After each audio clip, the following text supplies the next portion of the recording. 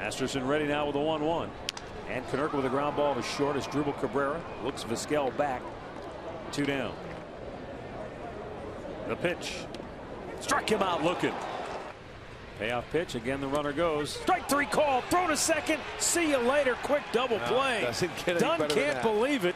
He turned back to Eric Cooper in disbelief. Now the one two pitch. Got him.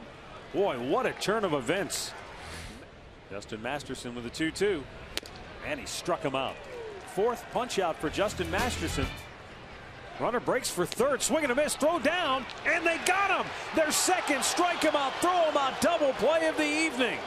The only run of the night coming in the first when Juan Pierre doubled and then scored on a sac fly. And the payoff pitch is swung on and missed.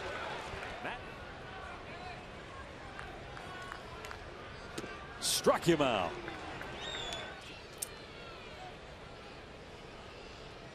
Two two got him looking. Eight strikeouts for Masterson. One down here in the bottom of the eighth inning in Chicago.